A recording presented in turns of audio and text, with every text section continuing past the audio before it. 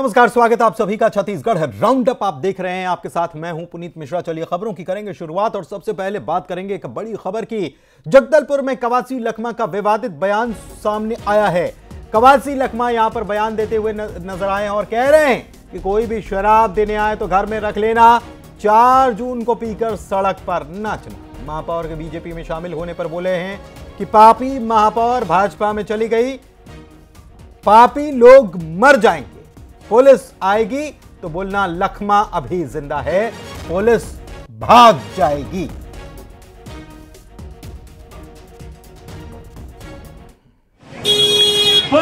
तो आती तो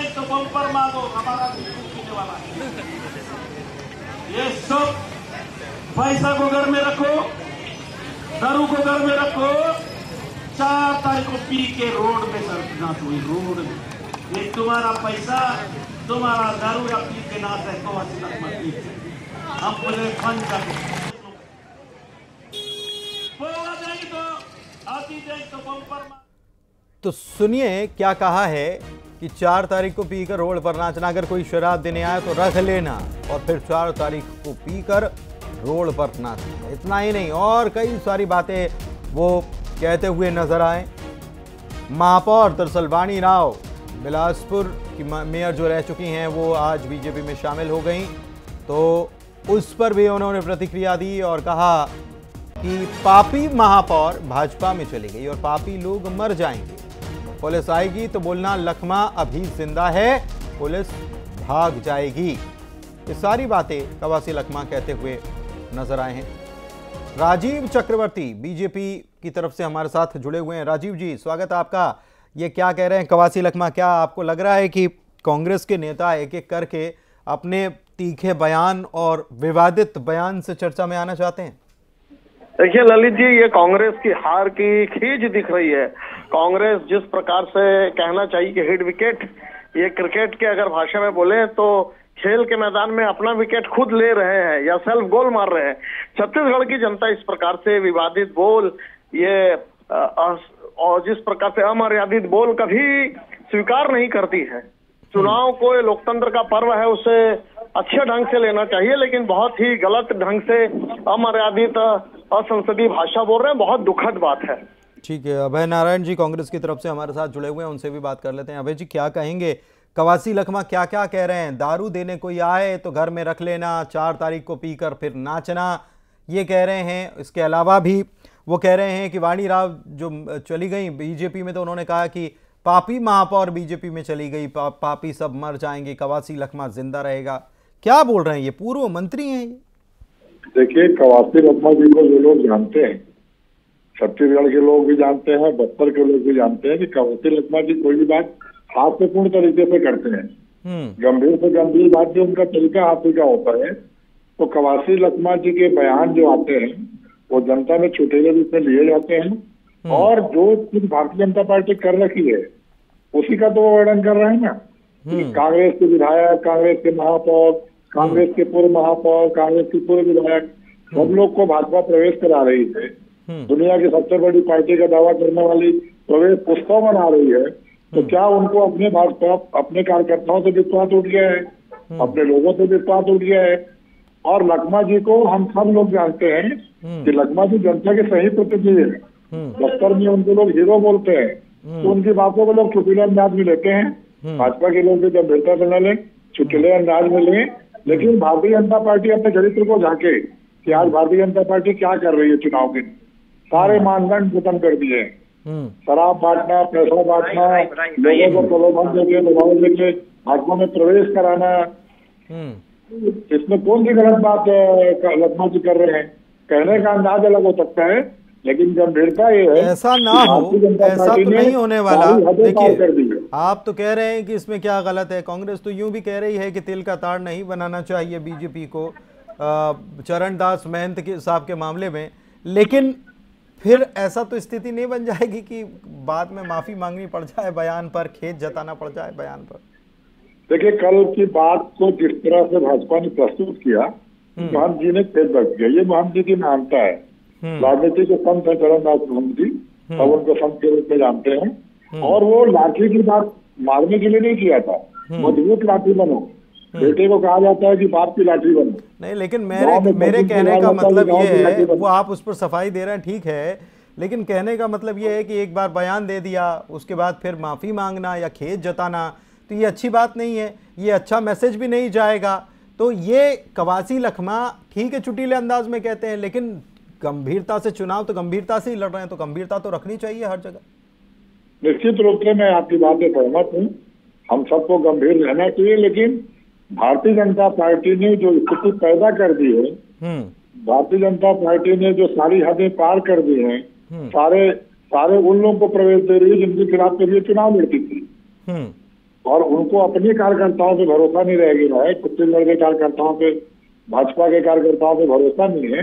हम्म। तो कांग्रेस के कार्यकर्ताओं को ले रही उस पर उन्होंने कहने का उनका अंदाज जुदा हो सकता है हम्म। लेकिन भावार्थ तो यही है कि भारतीय जनता पार्टी देखे कि वो क्या कर रही है ठीक है। तरह के प्रलोभन दे रही है। राजीव जी भाव पर जाइए। भाव क्या है उस पर जाइए। जो जिस तरीके से कहा जा रहा है उस पर मत जाइए। ये मैं नहीं कह रहा हूँ अभय जी कह रहे हैं।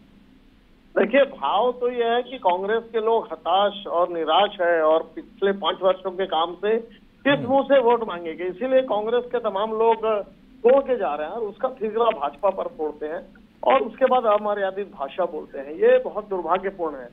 और देखिए चरणदास महन जी ने कल कहा कि प्रधानमंत्री का स्तर अगर कोई फोड़ सकते हैं तो देवेंद्र यादव जी फोड़ सकते हैं भूपेश बघेल जी फोड़ सकते हैं। उसके बाद आज लक्ष्मा जी ने इस प्रकार से अमर्यादित भाषा। बोली इसके पहले भी उन्होंने कहा था कि भाजपा के लोगों का सर फोड़ दीजिए। अपने चुनाव निर्वाचन क्षेत्र में जब वो घूम रहे थे पिछले 2019 में देखिए ये ऐसा लगता है कि कांग्रेस पार्टी बौखला गई है अमर्यादित भाषा बोल रही है। और सबसे दुख की बात यह है कि उनके बातों में कहीं कहीं ऐसा लगता कि वो दादागिरी कर रहे हैं या जैसा ऐसा लगता कि गांधी परिवार भारत की जागीर है। उसके अलावा कोई यदि शासन करे उसके हाथ में सत्ता या शासन रहे तो उसको हाँ, इस प्रकार से डिमोरलाइज करे। ये बहुत हाँ, गलत बात है।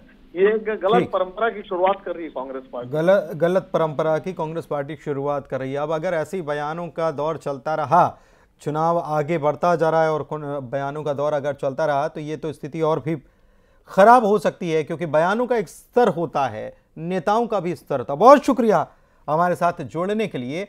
आगे बढ़ते हैं। बघेल का राजनांदगांव में तीन सौ चौरासी नामांकन कराने का प्लान फेल हो गया है।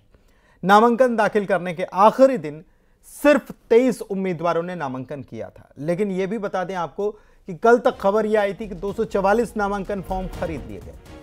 आपको बता दें कि भूपेश बघेल ने तीन सौ चौरासी नामांकन फॉर्म जमा करने की अपील कांग्रेस के कार्यकर्ताओं से की थी, जिससे कि चुनाव ईवीएम की जगह बैलेट पेपर से हो पाए। इसको लेकर बीजेपी ने चुनाव आयोग में शिकायत भी की थी।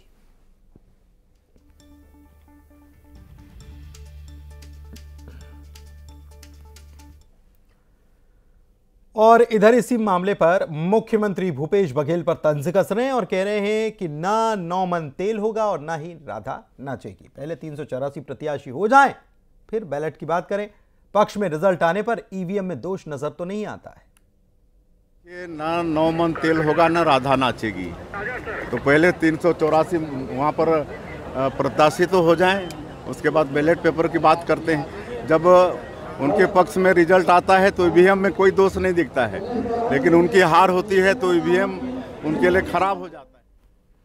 और रायपुर में 500 से ज़्यादा लोग बीजेपी में आज शामिल हो गए, जिसमें बिलासपुर के पूर्व महापौर वाड़ी राव भी बीजेपी में चली गई इसके अलावा कांग्रेस नेता रवि पांडे और कई दलों के कार्यकर्ता इस कार्यक्रम में बीजेपी में शामिल होते हुए नज़र आए। जिससे मैं भी ऐसा महसूस करती थी कि हम अपनी सर्विसेज़ जो हम इस प्रदेश के लिए दे सकते थे वो नहीं दे सकते। एक बात और दूसरी सबसे महत्वपूर्ण बात जो मैं महसूस कर रही हूँ कि ये जो एक क्रिमिनल इंटरप्रेसेस चल रहा था इस प्रदेश में मैं उसकी सदस्य नहीं बन सकती। इधर बिलासपुर में बीजेपी का कार्यकर्ता सम्मेलन हुआ। इसमें सीएम भी शामिल हुए। उनके सामने कांग्रेस और जोगी कांग्रेस के 1885 कार्यकर्ता, जो दावा किया जा रहा है, उसके मुताबिक बीजेपी में शामिल हुए। डिप्टी सीएम अरुण साहब समेत कई बीजेपी के बड़े नेता इस कार्यक्रम में मौजूद रहे। आज यहाँ बेलतरा के कार्यकर्ताओं में भी उत्साह देखने को मिला है और इस बार मैं विश्वास के साथ कह सकता हूँ, जिस तरह से हम कार्यक्रम में जा रहे हैं और हर कार्यक्रम में कांग्रेस छोड़ छोड़ के 300 400 से लेकर 1200 1500 तक। और उसमें भी पूर्व विधायक महापौर जिला पंचायत के अध्यक्ष ये सब कांग्रेस छोड़ छोड़ के आ रहे हैं। तो निश्चित रूप से आने वाले लोकसभा के चुनाव में भारतीय जनता पार्टी पूरी ग्यारह की ग्यारह सीट जीतेगी। राजनांदगांव से बीजेपी के प्रत्याशी संतोष पांडे ने आज नामांकन फॉर्म भर दिया है। उनके नामांकन के दौरान सीएम विष्णुदेव साय मौजूद थे। उन्होंने कहा कि बीजेपी को जनता का अपार जन समर्थन मिल रहा है। इस मौके पर उन्होंने सभी सीटों को जीतने का दावा फिर से दोहराया। राजनांदगांव संसदीय क्षेत्र से भारतीय जनता पार्टी के उम्मीदवार श्री संतोष पांडे जी, जो पहले भी सांसद रहे हैं, उनका नॉमिनेशन फ़ाइल किए हैं। और इस अवसर पर हमारे प्रदेश के यशस्वी अध्यक्ष श्री किरण देव जी, हमारे दोनों छत्तीसगढ़ सरकार के उप मुख्यमंत्री श्री अरुण साव जी, श्री विजय शर्मा जी और पार्टी के सभी वरिष्ठ जनों की उपस्थिति में नॉमिनेशन फ़ाइल किए हैं और निश्चित रूप से राजनांदगांव लोकसभा की सीट प्रचंड मतों से भारतीय जनता पार्टी जीतेगी। और चरणदास महंत के बयान पर राजनीति अभी भी गरमाई हुई है। ये बात अलग कि उन्होंने माफ़ी मांग ली। दुर्ग में बीजेपी कार्यकर्ताओं ने कांग्रेस भवन के सामने प्रदर्शन किया। इस दौरान पुलिस ने, पुलिस से उनकी झड़प हो गई। कार्यकर्ताओं ने यहाँ बैरियर भी तोड़ डाला।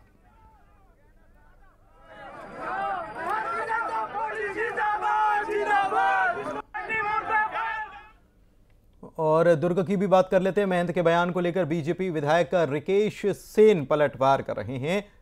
सेन के आह्वान पर प्रदेश के नाई समाज ने महंत का बहिष्कार किया है, ऐसा सेन का ही कहना है। और उनका यह भी कहना है कि अब कोई भी नाई महंत के बाल और दाढ़ी नहीं बनाएगा। प्रदेश ही नहीं पूरे देश भर की बात वो कर दे रहे। हैं और विधायक सेन ये भी कह रहे हैं कि मोदी जी तक पहुँचना महंत जैसे नेताओं के बस की बात नहीं है। इसके अलावा वो ये भी कहते हैं कि अगर किसी ने ये बहिष्कार को तोड़ करके दाढ़ी या बाल बनाए मेहनत के तो हम उसका भी बहिष्कार कर देंगे। उनसे जब पूछा गया कि माफ़ी मांग ली तो उसकी जानकारी उनको नहीं थी।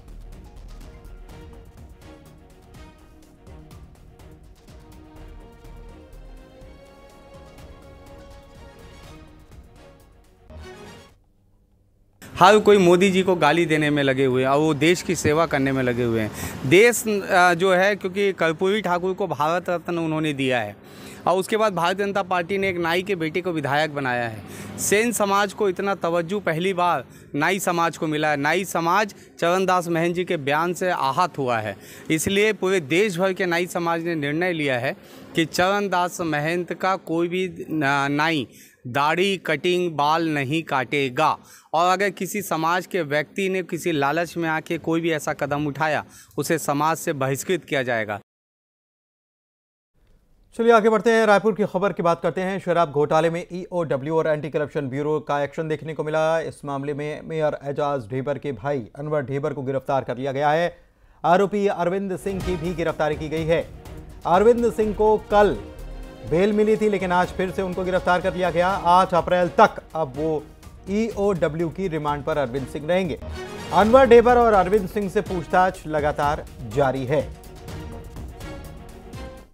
ईओडब्ल्यू की टीम ने पहले अरविंद सिंह को अरेस्ट किया, उसके बाद आज न्यायालय में पेश किया और आठ अप्रैल तक उसे न्यायिक जो रिमांड पर उन्हें दिया गया है एसीबी और ईओडब्ल्यू की टीम है, वो 8 अप्रैल तक रिमांड पर रखेगी और उनसे पूछताछ करेगी। और आज एसीबी ईओडब्ल्यू की टीम ने जो अनवर ढेवर को भी कुम्हारी प्लाजा के पास से अरेस्ट किया है और यहाँ पर ईओडब्ल्यू के दफ्तर में ला करके उनसे पूछताछ की जा रही है। हो सकता है कि दोनों को वन टू वन करके पूछताछ करें। अभी फ़िलहाल पूरी टीम अंदर मौजूद है और अनवर ढेवर और अरविंद सिंह से पूछताछ की जा रही है। कैमरा पर्सन राजेंद्र चौधरी के साथ। इधर राजनांदगांव से खबर, जहाँ पर पीएचई एसडीओ रिश्वत लेते गिरफ़्तार कर लिया गया। डेढ़ लाख रुपए की रिश्वत लेते एसडीओ को गिरफ़्तार किया गया। एंटी करप्शन ब्यूरो की तरफ़ से यह कार्रवाई की गई। एसडीओ को रंगे हाथों पकड़ा गया। खैरागढ़ के छुई खदान का यह पूरा मामला है। तो एक लाख पचास हज़ार रुपए की रिश्वत मांगी जा रही थी, इसकी शिकायत हुई और शिकायत के बाद अब ये कार्रवाई की गई है। गिरफ्तारी की कार्रवाई यहाँ पर की गई है और बड़ी खबर इस वक्त आपको बता रहे हैं राजनांदगांव से। ये पीएचई विभाग का, जल संसाधन विभाग का ये एसडीओ है, जिसे गिरफ़्तार कर लिया गया है। खैरागढ़ खैरागढ़ के छुई खदान का ये पूरा मामला है।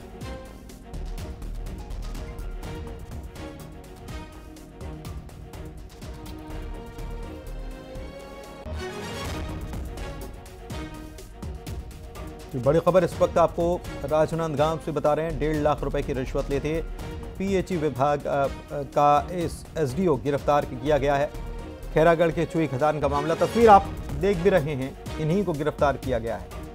रिश्वत ले रहे थे साहब, और इनको गिरफ़्तार कर लिया गया। राकेश यादव हमारे संवाददाता फ़ोन लाइन पर जुड़े हुए हैं। जानकारी उन्हीं से लेते हैं, कैसे ये दबिश दी गई, कैसे ये रिश्वतखोर पकड़ाया रंगे हाथों? बताइए, राकेश।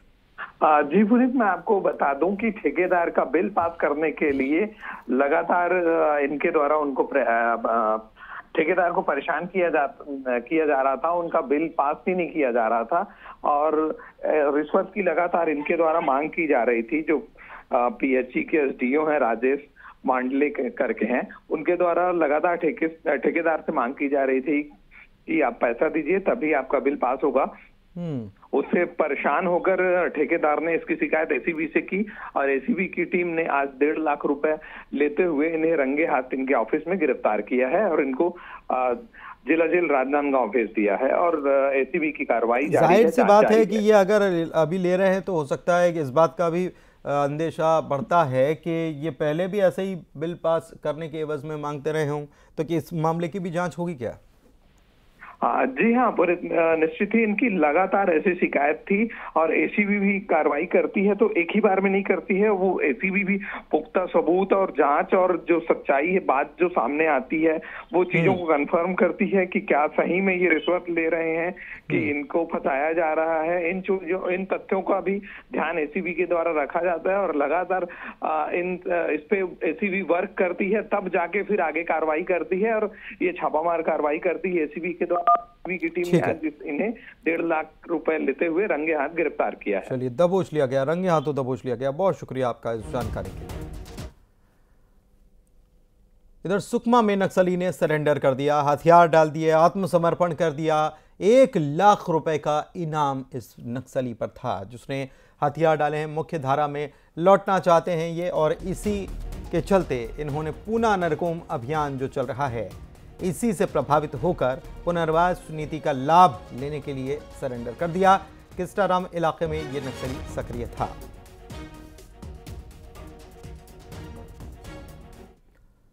इधर कांकेर की बात करें तो यहाँ पर नाबालिग से रेप का आरोपी गिरफ़्तार कर लिया गया। पूर्व युवा कांग्रेस प्रदेश सचिव है ये मिट्ठू इसका नाम बताया जाता है। सूर्य प्रकाश मलिक उर्फ़ मिट्ठू इसे गिरफ़्तार कर लिया गया है। पॉक्सो एक्ट के तहत गिरफ़्तार कर जेल भेजा गया है।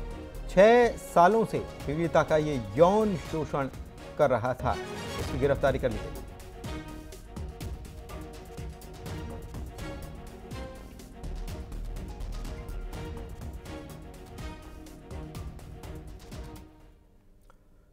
उधर कोरिया की बात करें तो एससीसीएल में चोरी के मामले में चोरी के सात आरोपी गिरफ़्तार कर लिए गए हैं, लेकिन तीन आरोपियों की तलाश अभी भी की जा रही है। कुल दस आरोपी इस मामले के बताए जाते हैं। जिन्होंने चोरी की वारदात को अंजाम दिया था, ये भी पता चला है कि चर्चा एस कालरी में इन्होंने चोरी की थी और इन दस आरोपियों की अगर बात की जाए तो इनमें तीन नाबालिग शामिल हैं। कोरिया के चर्चा थाना क्षेत्र का मामला है, सात गिरफ़्तार हैं, तीन की तलाश जारी।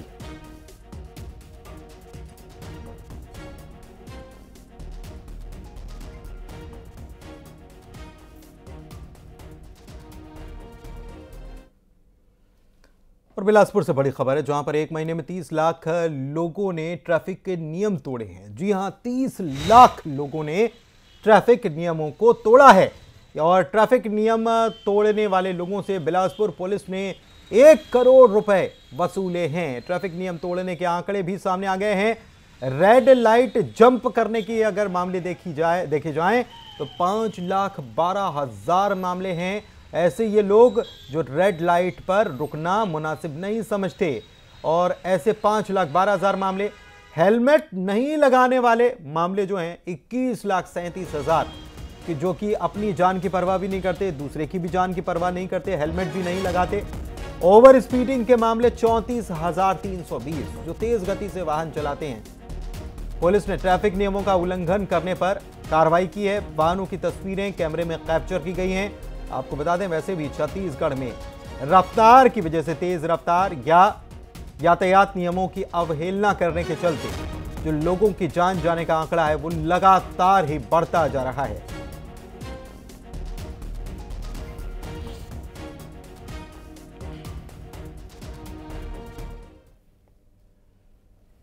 और आइए अब नज़र डालेंगे चुनाव चौबीस पर